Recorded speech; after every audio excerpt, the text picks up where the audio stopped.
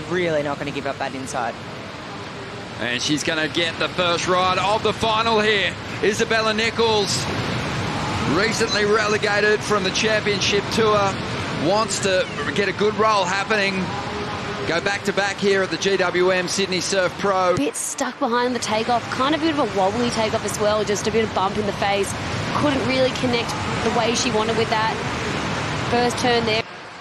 Yeah, I have found a special guest, guys. Matt Violas. How are you going? Pretty good. Now, Day in Australia. oh, absolutely, especially when the sun's out. Um, we're watching Erin. She's absolutely killing it right now. Just an event winning crafts for a, a long time. Got a lot of surfers competing on the Challenger Series and the Championship Tour. Here goes Erin Brooks on that mayhem, getting up into that first section. Again, a, a nice, fast hit out of the top, but it's not going to be the big number that we've come to uh, expect from her on her opening rides. Yeah, her boards are fitting into the pocket of these waves so well. We're somewhere, this wave actually started to double up as it hit this inside section. It had a lot of scoop to it and yeah, just perfectly fitting. I mean, throughout the week, we've seen so many surfers bauble on turns here, their nose kick. Still got a, a whole lot of time here. Erin puts up a 5-3-3, so wins that opening exchange, but Isabella Nichols up again, throwing it up into the pocket there. Clean that up on one of the next waves as we see Erin having a look. Oh, and there could be a section down the line here. Erin up into the first section, wanting to combo up a, a couple of moves here. That is such a, a tough section to read, even though it's a smaller wave. Just very difficult to ride out of that. Tried a lip line and she kind of did an in-between turn, which made it a little bit trickier for her. So kind of did a snap here and wanted to replicate really that turn she did before, but unfortunately not working out on that occasion. We having all the crew. We also had Luana Silva and Sol Aguirre, Aguirre. so all girls in the house. So, and then my dog Lulu, just loving the attention. Erin's just hanging on the lounge every day like that's a therapy dog. and Isabella. Effie, we'll let you get back to coaching, but well done. And um, yeah, you'll probably have a full house next year too. 18 minutes to go here. And making a move, Isabella Nichols. She's been the busiest surfer in the lineup. Looking to bank a solid score. Better start to this ride as she gets through her turns, bringing that board right back into the pocket and hits away at the end section. Oh, that would have felt nice. So I think Maddie is actually coaching Isabel at this event, but uh, Erin is just just her and her dad green ball and probably looking in a couple Oh, of times. yeah. God, she's paying very close attention to it. This is a better wave for Isabella Nichols Uh, here. this was really, really well done. And this is sort of the surfing I want to see from Bella. I feel like she registered, hey, this is a good wave. This is the final. I can't safety this. That first turn was perfectly timed. She really pushed harder there. Harder than what I saw her push in the semi, which is what I want to see.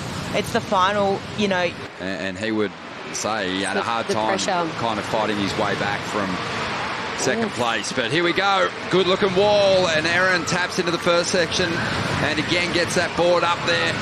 Third turn's decent as she moves through to the inside, gets a good finish, everything done very Wow. swiftly. So a, a clean sequence of turns. she just left some in the tank here.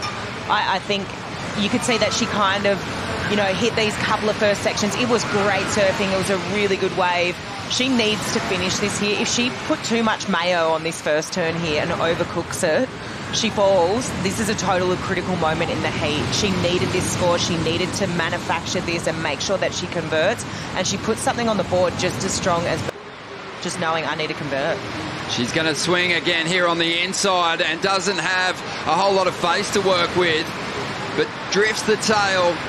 The, the judges, too, are still having a, good think about that first ride for Erin and making some comparisons to what Isabella Nichols did on her 7.5. Tries to shove another turn in there, but doesn't make it. And on the outside, Isabella finds a bit more space to get that vertical approach happening unloads a big power turn. Quality the first turn, but uh, the wave was very small and she didn't get the finish.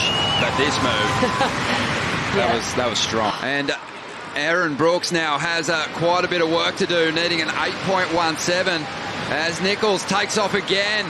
Strong out of the pocket, really starting to build some confidence and momentum. And she looks staunch as she finishes off that wave, trying to better a 7.5. That was a meaty turn, and it, here we go. Let's have a look at this wave. And you could just tell precision. She threw the fins out the back there. She's giving it more on these in these turns. And yeah, she just wants to let her surfing do the talking in this heat. Well, she's going to uh, make some noise right now with that surfing. As she takes to the air, can she stick it? Oh my God! Is just stroking into an absolute bomb right now. Oh, this might be the wave of the day, Oh, or it might not be. smart, right? That one She's- closed out, and now we're in that situation where Erin's trying to turn this with a single ride, finding some space here on the inside. Isabella Nichols got to be careful giving her opportunities as she takes to the sky. There is a real commitment in each of these moves. The local, the stalwart local, trying to keep the Grom off a wave. Erin Brooks finds some room again, even on a wave this side. This hasn't really look. Women are getting more and more progressive, but Erin is just a great show right now. Of hey, you've got to be so careful at what waves you give people because Erin's so progressive. The incredible run of Erin Brooks through the past three Challenger Series events, but Erin still banking a second place finish, holding that number one spot on the Challenger Series ratings.